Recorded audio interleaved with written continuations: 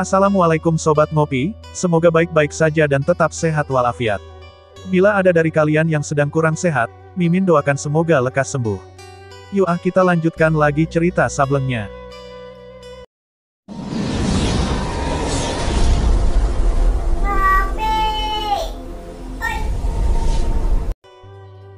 Gadis berbaju kuning ringkas itu menghentikan larinya di tepi kali berair jernih. Dua hari yang lalu dia sudah berhasil menemui jejak manusia yang dicarinya. Kemarin dia bahkan telah menguntit manusia itu, tapi hari ini, sesampainya di tepi kali itu, bayangan manusia yang dikejarnya kembali lenyap laksana di telan bumi. Penuh letih akhirnya gadis ini dudukkan diri di tepi kali di atas sebuah batu hitam. Di luar sepengetahuan gadis berbaju kuning ini, menyelam antara kelihatan dan tidak, berenang seekor ular kali sebesar lengan. Kaki-kaki si gadis yang berkulit putih mulus, yang sebagiannya masuk ke dalam air, itulah yang telah menarik perhatian sang ular, dan membuatnya segera berenang ke arah mangsanya ini. Setengah langkah ular itu berada dari kedua kakinya, barulah si gadis sadar. Cepat dia tarik kedua kakinya dari dalam air. Sang ular dengan ganas terus mengejar naik ke atas batu. Tapi nasibnya malang. Kali ini gadis baju kuning pergunakan kaki kirinya untuk menendang. Binatang itu mencelat mental, mati dengan kepalanya hancur. Gadis baju kuning itu berumur sekitar 19 tahun. Sepasang matanya yang bening, parasnya bujur telur dan ayu, tak membosankan untuk dipandang. Namun di balik keayuan paras itu, di belakang kejelitaan wajah itu, samar-samar kelihatan satu rasa duka derita, yang berpaut dengan rasa dendam kesumat. Lima hari yang lalu dia masih berada di Goa Blabakan. Dan hari itu dia berhadap-hadapan dengan gurunya.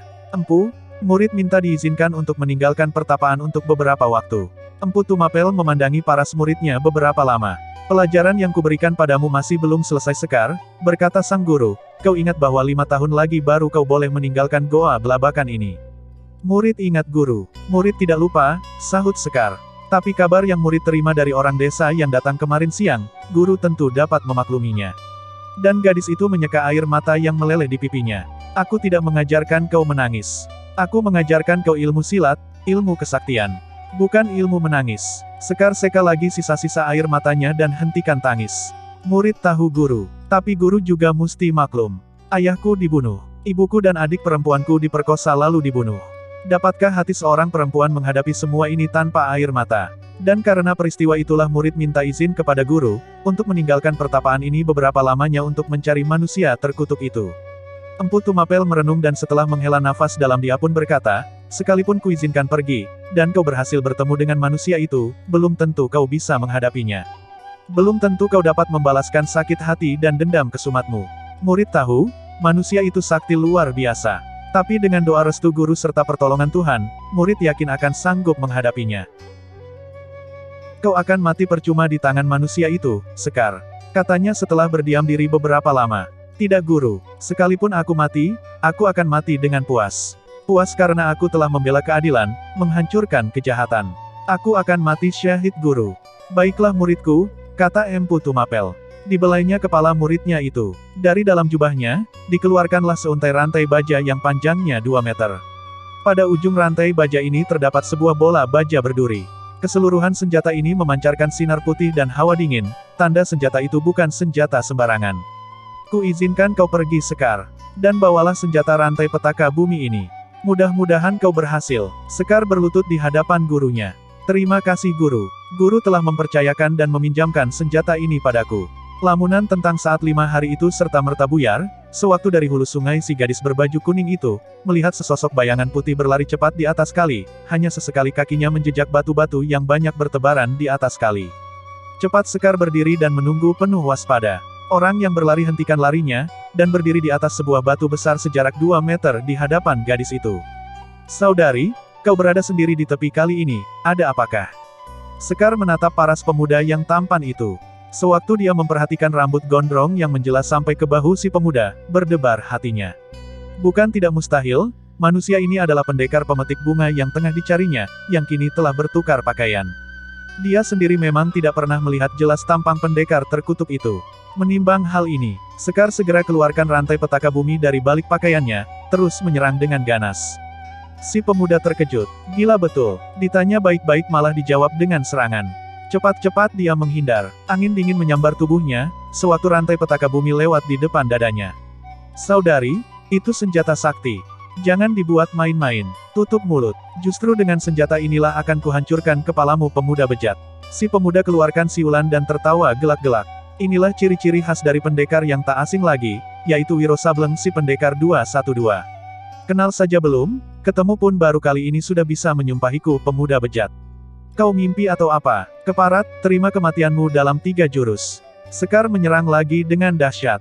Rantai petaka bumi menyapu dengan mengeluarkan suara dahsyat laksana halilintar, menebarkan angin laksana topan hingga air kali bermuncratan, dan batu-batu kali yang tersambar bola baja berduri itu hancur berantakan.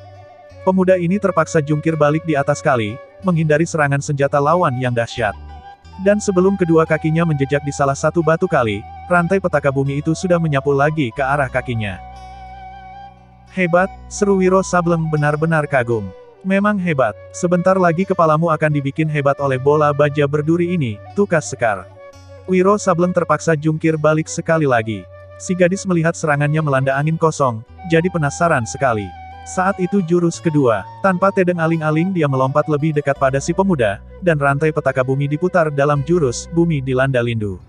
Jurus ini memang hebat luar biasa. Padahal si gadis baru mewarisi setengahnya saja dari gurunya.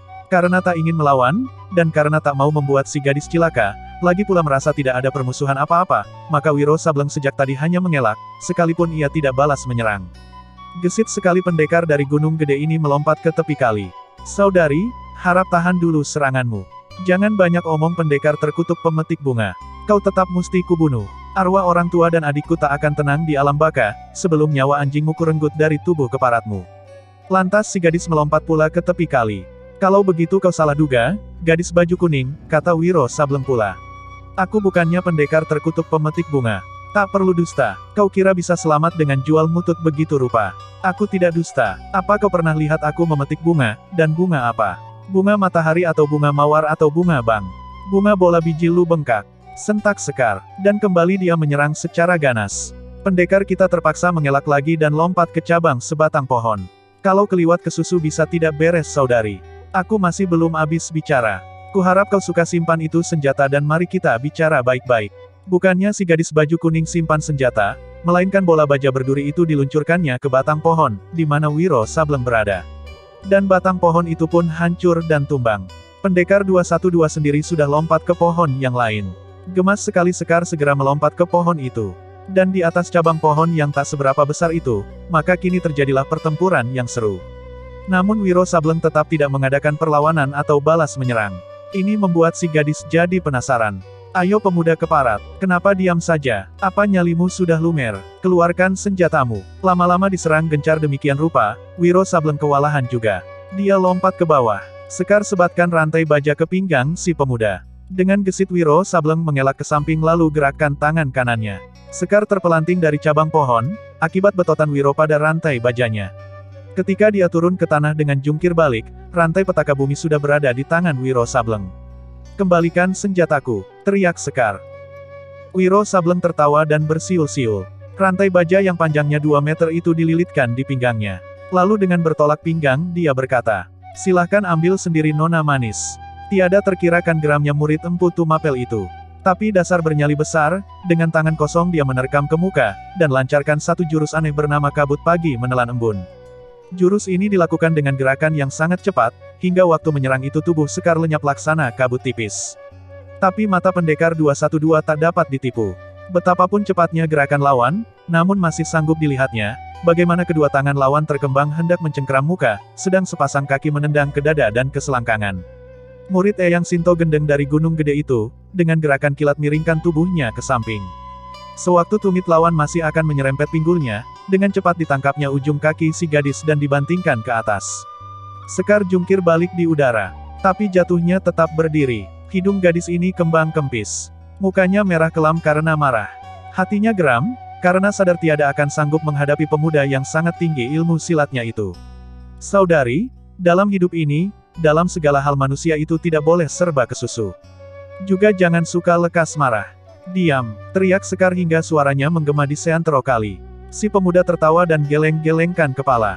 Dia berpikir bagaimana caranya menghadapi gadis galak macam yang satu ini. Tiba-tiba dia dapat akal. Saudari, kalau kau tetap keras kepala tak bisa bicara baik-baik, aku akan pergi dari sini dan larikan senjatamu. Ke ujung bumi pun kau lari aku akan kejar. Wiro Sableng angkat bahu dan garuk-garuk kepala. Tak pernah aku ketemu gadis yang keras kepala, dan tak mau mengerti macammu ini saudari. Kembalikan senjataku. Aku akan kembalikan, tapi kalau kau pergunakan lagi untuk menyerangku, gimana? Kau tahu itu senjata milik siapa? Aku tidak tanya. Kalau guruku Empu Tumapel tahu senjatanya dibuat main dan dihina, pasti nyawamu yang cuma selembar tak akan aman. Oh, jadi kau muridnya Empu Tumapel. Ah, orang tua itu adalah kawan main kelerengku sewaktu masih kecil. Dan kau tahu, dia suka main curang. Kemudian Wiro Sableng tertawa bekakakan. Marahlah Sekar. Dia menyerbu dengan kerahkan seluruh bagian tenaga dalamnya ke lengan. Tapi kali ini Wiro Sableng tidak tinggal diam. Lebih cepat dari serangan si gadis baju kuning, lebih cepat pula sepasang jari telunjuknya menotok jalan darah di tubuh si gadis. Maka mematunglah Sekar, tapi telinga masih bisa mendengar dan mulut masih bisa bicara. Wiro Sableng tertawa cengar-cengir. Sebetulnya aku tidak punya waktu banyak, tapi kau bikin perjalananku terhalang. Menyerang membabi buta tanpa alasan. Diam, lekas lepaskan totokan ini. Sabar gadis manis. Kalau kau marah dan membentak begitu, parasmu jadi makin cantik. Wajah Sekar bersemu merah. Kau menyangka bahkan menuduh aku telah membunuh orang tua serta adikmu. Apakah kau punya bukti? Sekar hanya terdiam. Kau bilang aku pendekar pemetik bunga. Apa kau yakin? Sekar tetap diam. Dengar saudari, semua tuduhanmu salah belaka. Justru aku tengah dalam perjalanan, mencari manusia yang bergelar pendekar penarik kolor itu. Kau dusta, tukas Sekar. Terserah. Tapi aku tak punya waktu lama melayanimu. Pertumpahan darah akan segera terjadi di biara pensuci jagat. Aku tak boleh terlambat. Kembalikan dulu senjataku dan lepaskan totokan ini. Wiro Sableng buka lilitan rantai petaka bumi dari pinggangnya. Dilepaskannya totokan di tubuh Sekar, lalu diserahkannya rantai baja itu kepada si gadis, kemudian segera balikkan tubuh. Tunggu, seru Sekar. Wiro Sableng hentikan langkah. Tadi kau bilang bahwa kau dalam perjalanan mencari pendekar terkutuk pemetik bunga. Apa kau tahu di mana manusia itu berada? Tahu atau tidak tahu memangnya kenapa? Aku juga punya urusan yang harus diselesaikan dengan manusia bejat itu. Ya, kau sudah bilang tadi. Jadi maksudmu mau sama-sama seperjalanan dengan aku. Untuk kesekian kalinya paras si gadis jadi bersemu merah. Kuharap kau jangan bicara keliwat kurang ajar saudara. Bentak Sekar. Sudahlah, kita tak banyak waktu. Kalau mau sama-sama memburu itu manusia biang racun penimbul bahala, lekaslah. Kau jalan duluan, kata Sekar yang hatinya masih bimbang dan bercuriga terhadap si pemuda. Dia khawatir kalau Wiro Sableng, adalah benar-benar pendekar terkutuk pemetik bunga yang hendak menipunya. Tak perlu tanya, jalanlah. Pendekar 212 bersiul dan pencongkan hidungnya. Sekali dia berkelebat maka tubuhnya sudah melompat lima tombak ke muka. Sekar tidak tinggal diam, segera pula dia kerahkan ilmu larinya untuk mengikuti Wiro Sableng. Ketua biara pensuci jagat terkejut, ketika melihat jarum alat rahasia di dalam kamarnya bergerak-gerak. Segera ditekankannya sebuah tombol di tepi tempat tidur. Dua buah pintu rahasia terbuka dan delapan orang biarawati muncul. Kedelapannya menjura lalu berpaling ke arah alat rahasia yang dituding oleh ketua mereka. Atur pengurungan, kata ketua biara itu pula. 50 di dalam, 50 di luar, yang datang ini mungkin orang yang kita tunggu-tunggu. Delapan biarawati menjura lagi lalu meninggalkan kamar ketua mereka. Ketua biara memandang lagi ke jarum alat rahasia. Kali ini ketua biara itu segera membentak, tamu di atas atap, silahkan turun unjukkan diri. Baru saja Supit Jagat berkata demikian, maka terdengarlah suara menggemuruh. Atap dan langit-langit kamar amblas roboh. Diiringi oleh suara tertawa bekakakan, sesosok tubuh berjubah hitam melompat turun dalam gerakan yang sangat enteng. Yang datang ternyata betul pendekar pemetik bunga. Sungguh satu kehormatan dapat berkunjung ke biaramu ini, Supit Jagat. Baru saja pendekar pemetik bunga berkata demikian, empat dinding kamar amblas ke dalam lantai, dan kini terbukalah satu ruangan besar. Di setiap tepi ruangan berbaris dua lapis biarawati angkatan tua, dan angkatan muda berseling-seling. Kesemuanya dengan pedang di tangan. Pendekar pemetik bunga memandang berkeliling. Tidak ada bayangan rasa terkejut pada parasnya. Rupanya sudah ada persiapan untuk menyambut kedatanganku, katanya. Ketua biara pensuci jagat tertawa mengekeh. Nama kotormu sudah lama kami dengar. Noda busuk yang kau tebar di mana-mana sudah sejak lama hendak kami putus. Nyawa bejatmu sudah sejak lama ingin kami kirim ke neraka jahanam. Tapi hari ini agaknya kami tak perlu susah-susah turun tangan keluar biara. Malaikat maut rupanya telah membawamu ke sini. Betapa indahnya susunan kata-katamu, Supit Jagat, berkata pendekar pemetik bunga. Tapi ketahuilah, aku datang ke sini bukan dibawa oleh malaikat maut, sebaliknya justru mengantarkan malaikat maut yang ingin cepat-cepat merenggut nyawa kalian. Dan menyedihkan sekali, rupanya hanya kroco-kroco tua macammu yang ditakdirkan mampus. Sedangkan biarawati muda belia mesti dihadiahkan untukku. Kurasa matamu belum buta pendekar terkutuk, sahut Supit Jagat. Belum buta untuk melihat orang-orangku yang berdiri dalam satu barisan maut, belum buta untuk melihat pedang-pedang yang melintang. Aku memang tidak buta, tapi sebaiknya biarawati-biarawati muda itu tak usahlah ikut-ikutan bertempur. Mereka akan mati percuma sebelum merasakan betapa nikmatnya hidup di dunia ini. Betapa nikmatnya berada dalam pelukanku.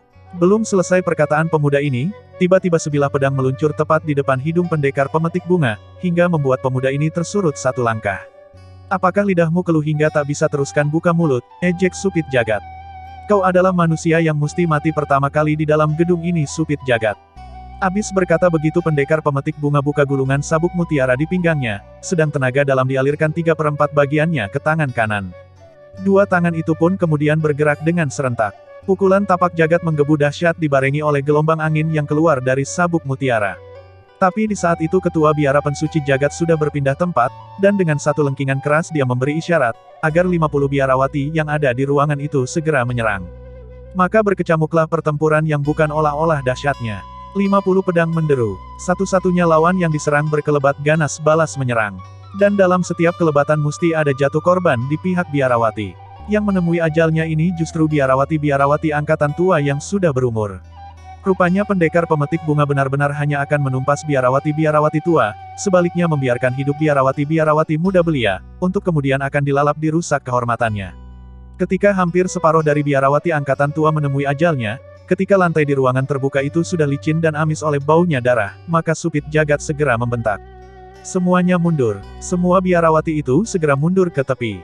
Dan di tengah ruangan besar itu, kini hanya ketua biara serta pendekar pemetik bunga saja, yang berdiri berhadap-hadapan dalam jarak delapan tombak.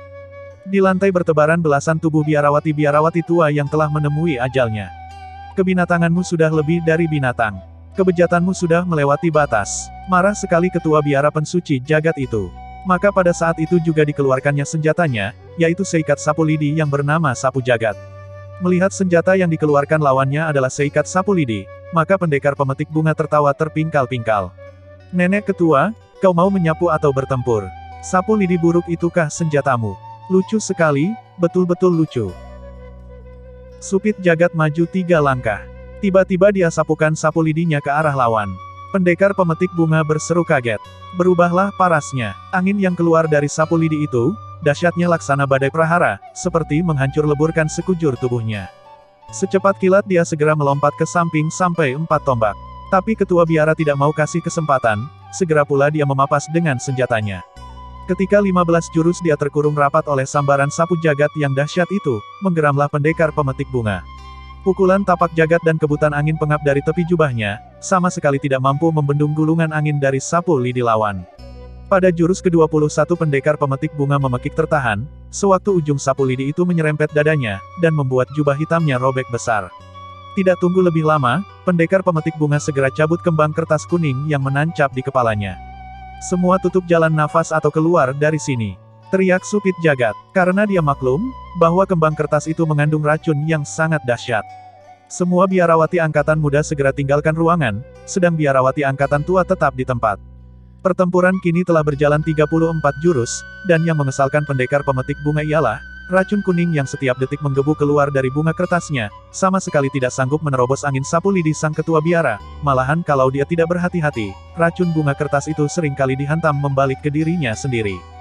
Di saat pertempuran berjalan semakin dahsyat, di saat tubuh kedua orang itu hanya merupakan bayang-bayang, yang dibungkus oleh sinar kuning serta lingkaran-lingkaran angin sapu jagat, maka tiba-tiba terdengarlah suara siulan-siulan nyaring yang tak menentu, yang kemudian disusul oleh suara nyanyian seseorang. Hanya biarawati-biarawati di tepi kalangan pertempuran yang berani mendongak ke atas, ke arah datangnya suara nyanyian itu.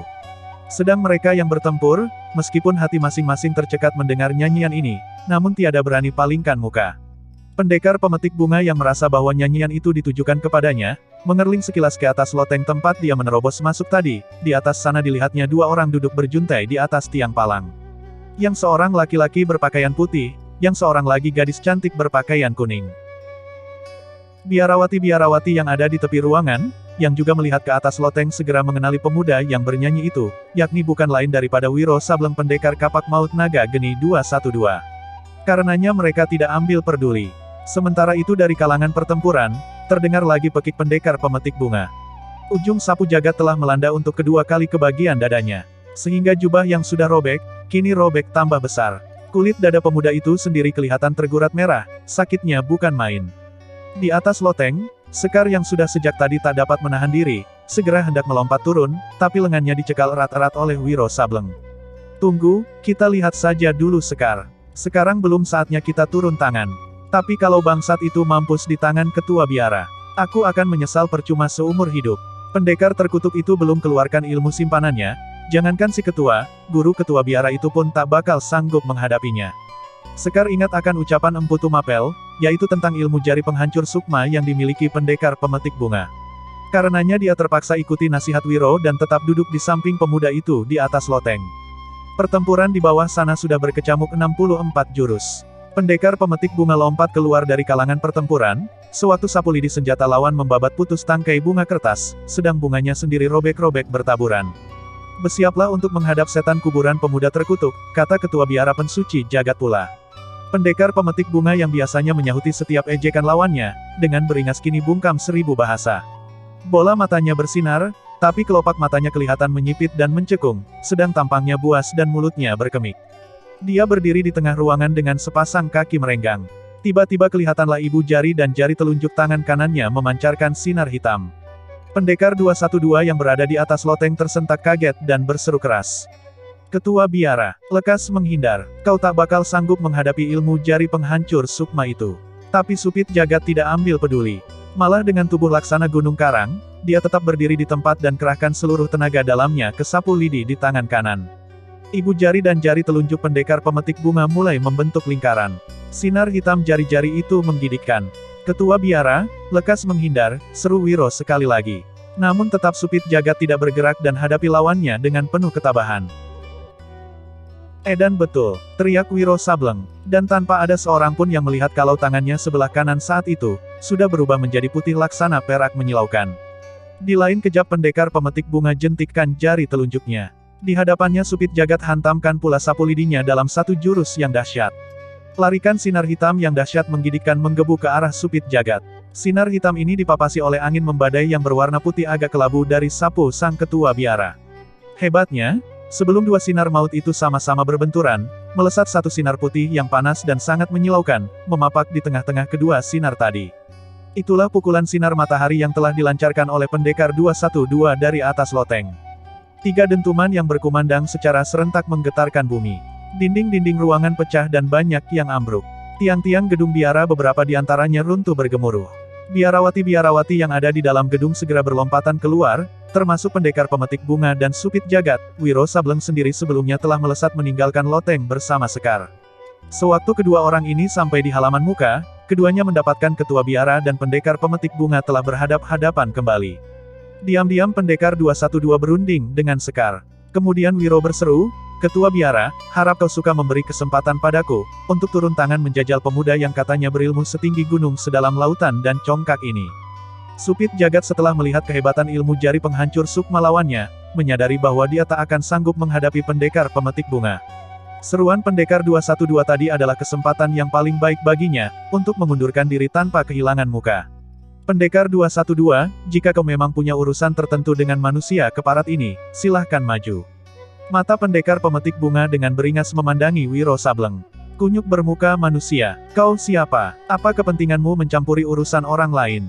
Apa kepentinganku? Banyak sekali sobat, kau bisa tanya nanti pada iblis-iblis penjaga kubur atau setan-setan di neraka. Abis berkata begini Wiro Sableng tertawa bekakakan.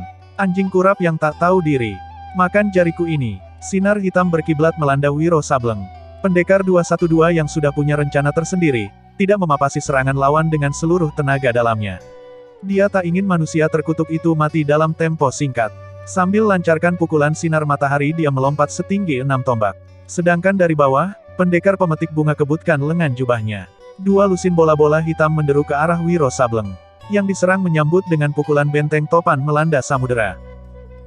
24 bola-bola hitam itu meledak, dan seketika udara tertutup kabut hitam. Wiro yang tahu maksud licik lawannya, begitu kabut hitam menutupi pemandangan segera jungkir balik dua kali berturut-turut. Dalam sekejapan mata kemudian dia sudah keluar dari kabut hitam itu, maka kelihatanlah pendekar pemetik bunga melarikan diri ke arah pintu gerbang biara. Lima orang biarawati yang menjaga pintu itu, sekali jentikan jari saja segera dibikin meregang nyawa oleh pendekar pemetik bunga. Pemuda ini kemudian bergerak cepat menekan tombol rahasia pembuka pintu. Tapi pendekar 212 tahu-tahu sudah menghadang di hadapannya. Areka mana tukang kolor, bentak Wiro Sableng. Sebenarnya pendekar pemetik bunga bukanlah seorang pengecut. Namun ketika melihat ilmu jari penghancur sukma, yang dilancarkan terhadap Wiro Sableng tiada mempan sama sekali, maka lumerlah nyalinya.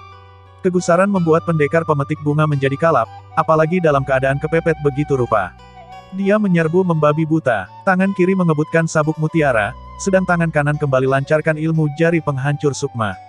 Wiro tetap tak mau sambuti serangan dahsyat itu dengan kekerasan. Dia jatuhkan diri ke tanah dan bergulingan dengan cepat mendekati lawan. Sebelum larikan sinar hitam menyerempet tubuhnya, tahu-tahu dia sudah berada di belakang pendekar pemetik bunga. Pendekar pemetik bunga membalikkan badan secepat kilat. Tapi begitu tubuhnya berbalik, dua ujung jari laksana kilat melanda urat besar di pangkal lehernya. Tak ampun lagi pemuda terkutuk ini menjadi kaku tegang tubuhnya. Apakah kini kau bisa jual tampang pamerkan segala ilmu silat dan kesaktianmu? manusia terkutuk, ejek Wiro Sableng. Bangsat rendah, kelak kau akan rasakan pembalasanku. Sementara itu, Sekar yang melihat musuh besarnya berada dalam keadaan tertotok, segera datang berlari dan keluarkan rantai petaka bumi. Manusia bermuka iblis. Hari ini lunaslah hutang jiwa orang tua dan adikku. Rantai dengan bola baja berduri menderu ke arah kepala pendekar pemetik bunga. Pendekar ini membeliak besar kedua matanya, sari mulutnya keluar jerit ketakutan setinggi langit. Sesaat lagi bola berduri itu akan menghantam hancur kepala pendekar pemetik bunga, satu tangan memukul ke depan, dan bola berduri lewat setengah jengkal di alas kepala si pemuda, yang sudah ketakutan setengah mati itu. Wiro, apa-apaan kau, sentak sekar, karena Wiro lah yang membuat serangan mautnya tak mengenai sasaran. Jangan bodoh sekar, mati dalam tempo yang singkat terlalu enak buat manusia macam dia. Wiro berpaling pada ketua biara pensuci jagat, dan beberapa biarawati yang ada di situ. Bukankah demikian, ujarnya. Kita jebloskan saja dia ke dalam sumur binatang berbisa. Mengusulkan Supit Jagat. Wiro tertawa dan gelengkan kepala. Dipegangnya dagu pendekar pemetik bunga lalu tanyanya, Sobat, apakah kau pernah memikirkan, bagaimana sakitnya sekujur tubuhmu bila jalan darahmu menyungsang terbalik? Pucat pasilah muka pendekar pemetik bunga. Demi Tuhan, aku minta agar dibebaskan. Aku bertobat. Aku betul-betul tobat. Aku mohon keadilan, kata pendekar pemetik bunga. Kepalanya dipalingkan pada Supit Jagat, mohon belas kasihan. Dan saat itu dia mulai menangis merengek-rengek macam anak kecil. Kau mohon keadilan dan mohon pengampunan, tanya Supit Jagat dengan tertawa-tawa. Iya, dan aku akan bertobat, sahut pendekar pemetik bunga. Baik, kami akan ampuni kau punya jiwa. Tapi ada syaratnya, apa pun syaratnya akan aku terima, kata pendekar pemetik bunga tanpa ragu-ragu. Ketua biara pensuci jagat tertawa, syaratnya mudah saja. Cungkil sendiri kau punya jantung dan serahkan padaku. Pendekar pemetik bunga menangis meraung-raung minta diampuni. Matanya menjadi bengkak dan merah. Pendekar 212, sebaiknya lekas saja dimulai penjatuhan hukuman atas dirinya, kata Supit Jagat. Wiro membelai-belai rambut pendekar pemetik bunga dengan senyum-senyum. Kemudian dua jari tangannya bergerak melakukan totokan di beberapa bagian tubuh pendekar pemetik bunga. Semua orang menunggu apa yang bakal terjadi. Tampang pendekar pemetik bunga kini seputih kain kafan, keringat mengucur mulai dari kulit kepala sampai ke kaki. Mula-mula dia tak merasakan apa-apa. Tapi kemudian kepalanya mulai terasa sakit. Rasa sakit ini kini menjalar ke seluruh tubuh. Hal ini dikarenakan peredaran darah dalam tubuhnya tidak normal lagi, yaitu berdenyut membalik. Dan lolongan-lolongan yang mengerikan keluar tiada hentinya dari mulut laki-laki itu. Beberapa saat kemudian Wiro lepaskan totokan di tubuh pemuda terkutuk itu. Kini rasa sakit semakin menjadi-jadi. Dunia ini seperti menyungsang di mata pendekar pemetik bunga. Dia lari sana lari sini berteriak tak karuan, mencak-mencak dan bergulingan di tanah. Beberapa menit berlalu darah mulai mengucur dari kedua lubang hidung, mata serta telinganya. Wiro berpaling pada gadis baju kuning di sebelahnya. Sekar, jika kau mau turun tangan, inilah saatnya. Tapi jangan bunuh dia sekaligus.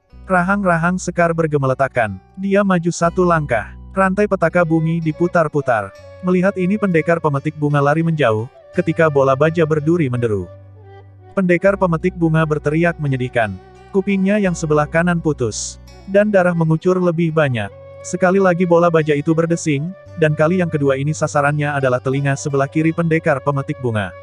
Keganasan dendam Sekar tidak sampai di situ saja, bola bajanya menderu lagi menghantam hidung si pemuda hingga hidung itu hancur melesak, dan tampang pendekar pemetik bunga sungguh mengerikan untuk dipandang. Sudah cukup Sekar? Tanya Wiro Sableng.